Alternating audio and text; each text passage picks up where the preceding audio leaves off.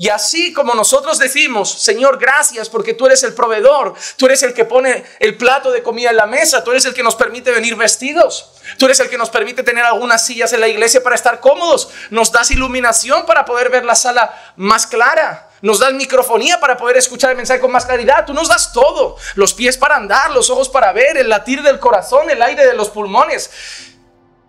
Sabemos que Dios es el proveedor, pero se nos olvida una cosa que Dios también debe ser el que nos da la capacidad de disfrutar sus provisiones.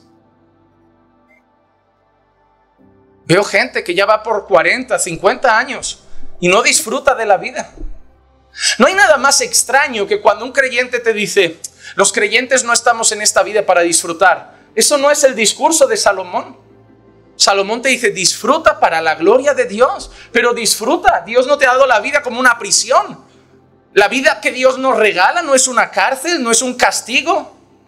Sí, como creyentes, a diferencia del mundo, nos duele ver cómo está el mundo, sufrimos por muchas leyes, sufrimos por muchas cosas, nos duelen las injusticias, nos duele la perversidad, nos molesta ver el pecado a nuestro alrededor, nos preocupan muchas cosas, pero aún así sabemos disfrutar de la vida que Dios nos da.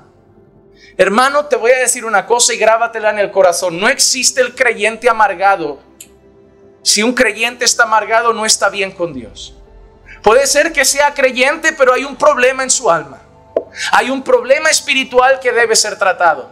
Porque un fruto del Espíritu, cuando vemos el fruto del Espíritu Santo, una de las palabras que aparece es gozo.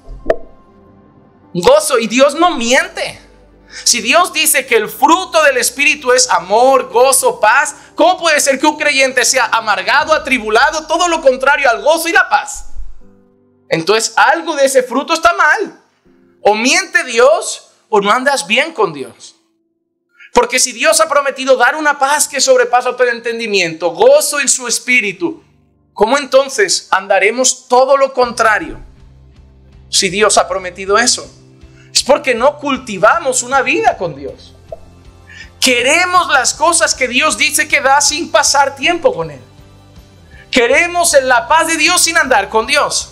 Queremos el gozo de Dios sin andar con Dios. Queremos vivir como nos da la gana y disfrutar de las cosas. Querríamos vivir sin hacer caso a Dios, pero con las ventajas de andar con Dios. No, hermano.